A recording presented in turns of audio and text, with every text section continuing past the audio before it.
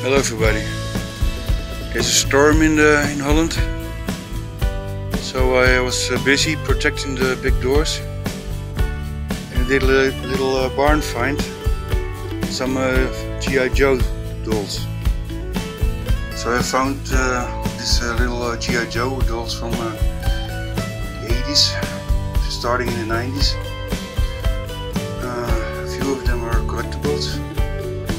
Will sell them and uh, I will buy me some survival gear, maybe a tent